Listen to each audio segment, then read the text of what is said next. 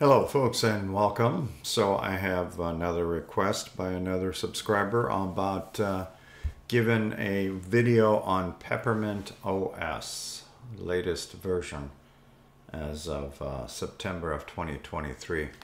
So I'm going to walk through that process, give you a little bit of information about Peppermint OS.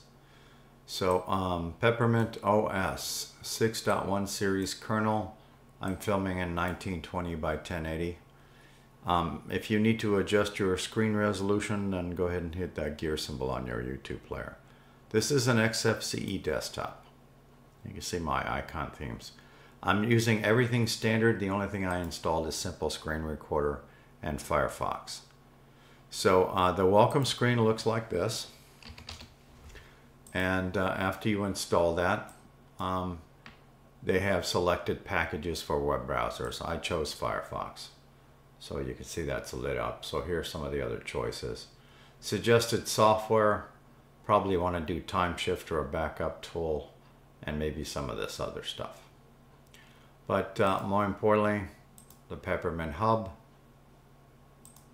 the Pep Docs, just goes to, uh, wait till this loads, and there we go and um, I think I'm pretty much done over here. So I'm going to uh, just point out the fact that we have some uh, links over here and then I'm going to close this and walk through the menus. Standard wallpaper, right click on your screen, create launcher, URLs, and etc. So um, this icon may be hard to see, but this is your um, multifunction key. So let me just create one of those and I'll just type in um, in the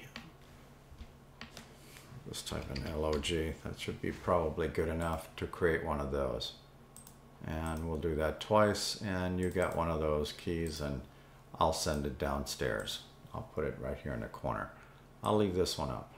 This will be a little bit more convenient to log out and shut down the system. All right.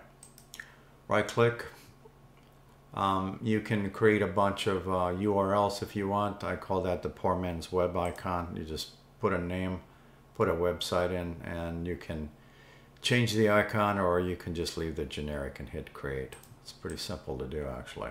Open up terminal, open up Thunar, your file manager in root mode, desktop settings.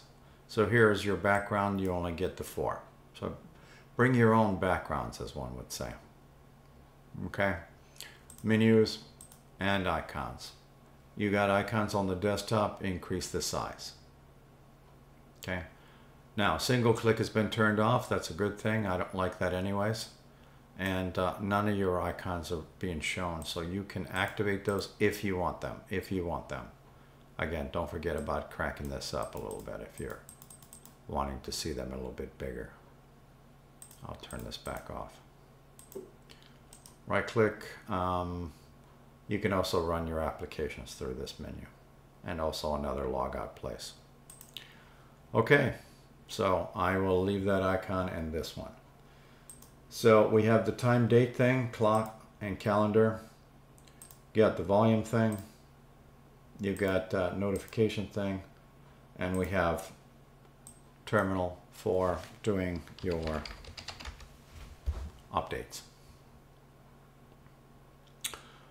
And I will say continue. 36 packages to update and we'll say yes. And I'll allow that to finish. So a little bit about the system while it's doing its update. I'll open up Firefox while it's actually doing the update in the background. I'll try to. Let's uh, click that. And uh, we will open this on DistroWatch. I'll let that finish in the background. I'll resize this on the fly, holding down the control key, scrolling up. And then letting go of the control key and scroll and then scrolling normally. Um, it's kind of a mix, so maybe that's a better better shape for it. So uh, Peppermint OS uh, is out of the UK. It's a Debian Debian or Debian stable. I'm using this branch. So it's an XFCE desktop. They offer a live medium so you can give it a test run. I don't really use the popularity factor on DistroWatch. PeppermintOS.com. Website looks like that. download, I'm using the Debian version of the 64-bit. Looks like they offer a 32 and also the Debian. Debian. And uh, anyways, I'll close that. Oh, still working in the background. So I'll let that finish. Uh, again, I just installed this thing. It's a fresh install. So let me continue while the thing is playing there. And um, I have the uh, keyboard and mouse thing. So that's what you were looking at. I'm using wireless um, keyboard and mouse. My mouse is a regular USB based mouse with a scroll wheel on it. Alright, simple screen recorder is what I'm using. And my network thing and the workspaces. So workspace one and two. And um, I'm still waiting for this thing to finish. And I'll turn, uh, this is another way of looking at system information using INXI. I'll make this a little bit bigger for you. And uh, I'll get 6.1 series kernel, XFCE desktop, Peppermint OS, Bookworm. GCC is 12.2.0 if you're curious. And you can see what kind of hardware I'm using. AMD, AMD graphic card. It's a Radeon RX 550. It's a 4 gig video card. Again, 1920 by 1080 is what I'm filming in today. Close. I'll switch to the other desktop. And uh, we are finished, hopefully. Let's double check. Think it auto closed. And yeah, it's finished. Okay. So walking across, again, I'm using simple screen.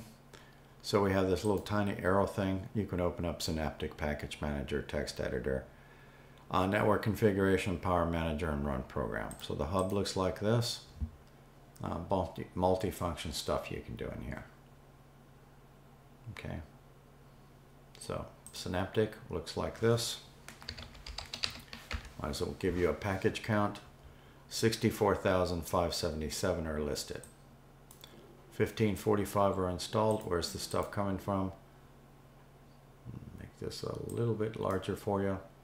Um, you can see that's uh, coming from the bookworm, bookworm for the uh, peppermint os.com repos and also Debian. Okay. We'll just scroll down here and close.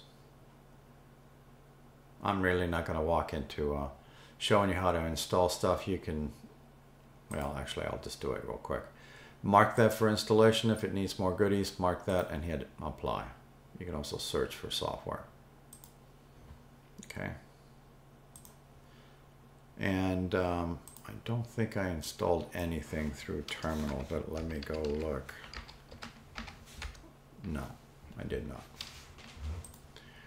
So if I wanted to install stuff, uh, since I'm using the, that version, I'll just do,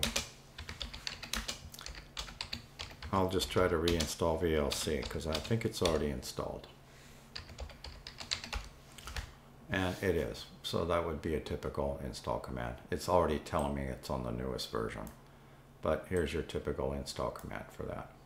Moving forward. Um, we have the uh, red icon here, which launches your Thunar file manager. Very typical commands for the XFCE desktop environment. Holding down your control key, using your computer mouse if you have a USB based one, scroll wheel to resize icons on the fly. I'll make this larger. Again, all I'm doing is clicking right below this line. I normally use a different mouse pointer for this demo, but your pointer tip has to be below this line for this to work. We can also use the old-fashioned way.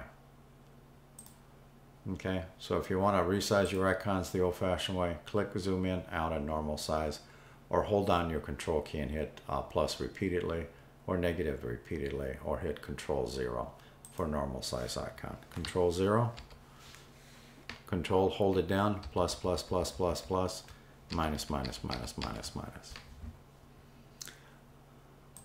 I have some wallpapers here, holding down the control key, scrolling up.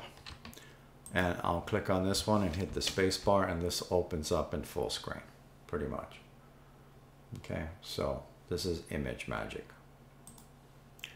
right click set as wallpaper. Okay. So um, that's just my user pep1 and um, again resizing icons. Really not going to spend too much time in the file manager I'm going to continue on. Here's your menu. Here's the search bar.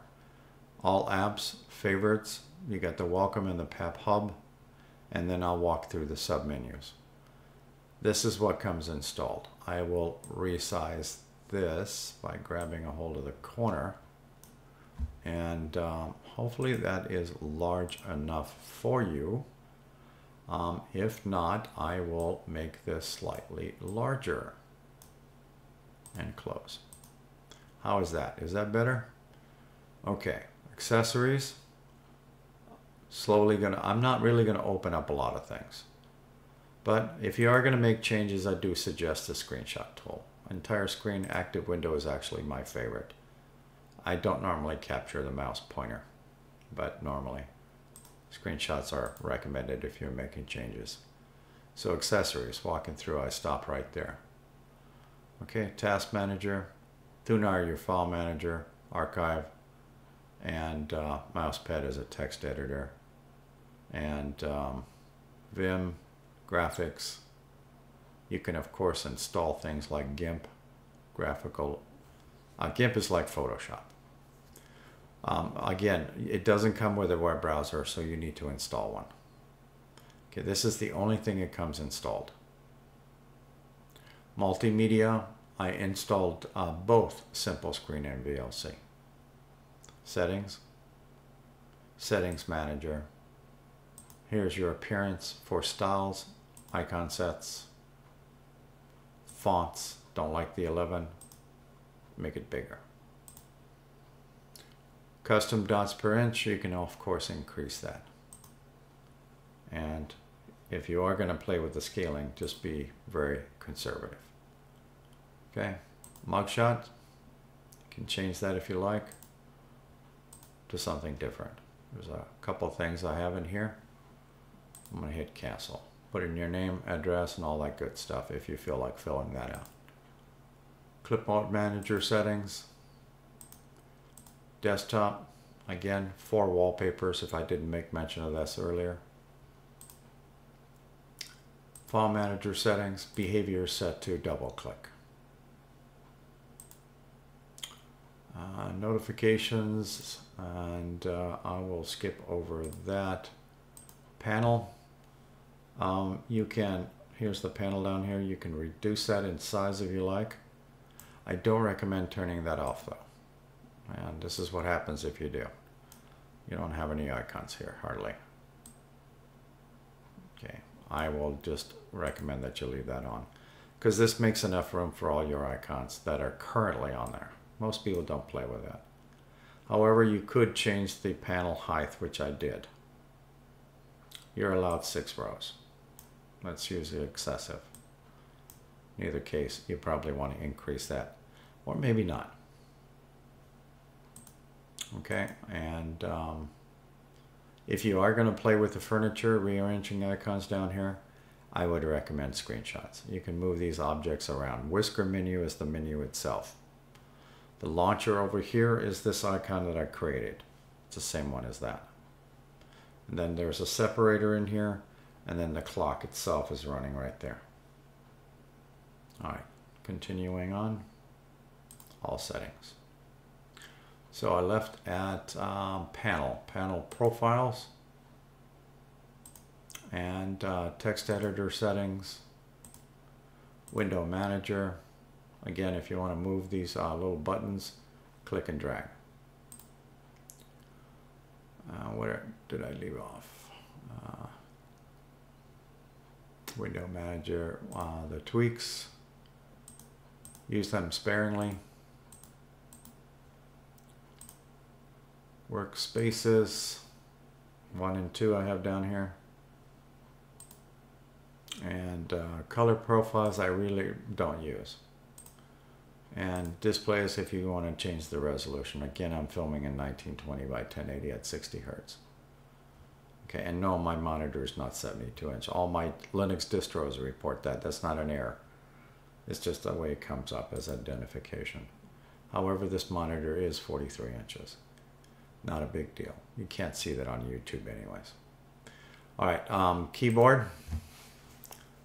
Application shortcuts, you may want to take a look at that and become familiar with some of them. Okay.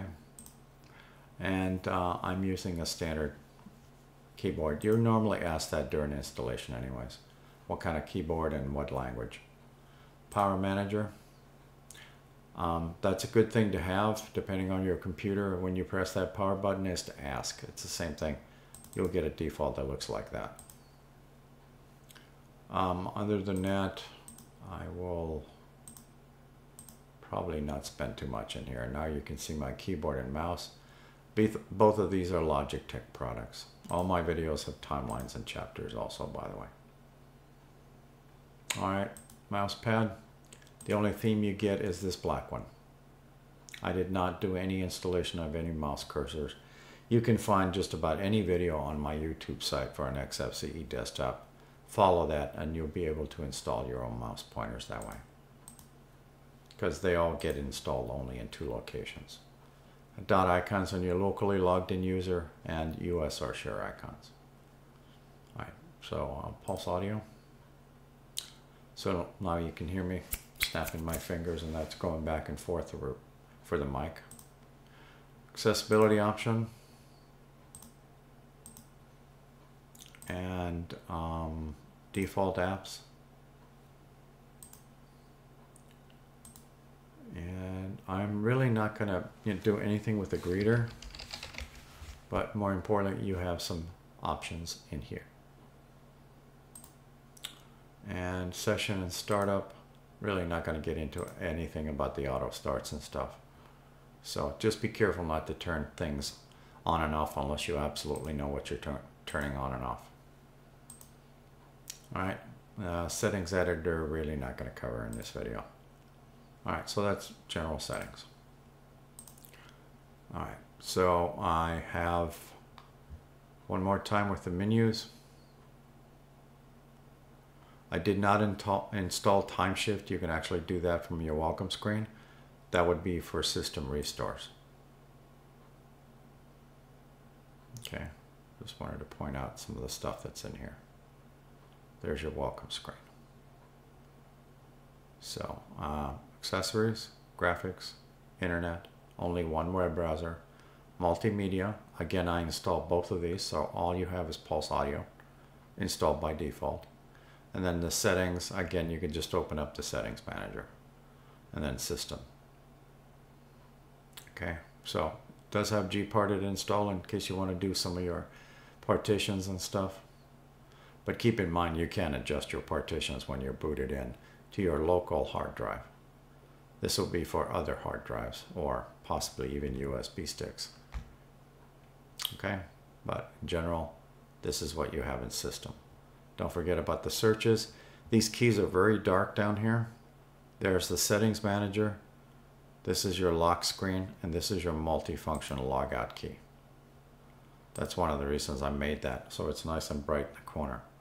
Again, you can put these anywhere. You can even dump them on your panel if you like. There you go. Now I have two of them. All right, so right click, panel. Panel preferences is also where you can make these adjustments. Okay, I think I covered right clicking on the screen.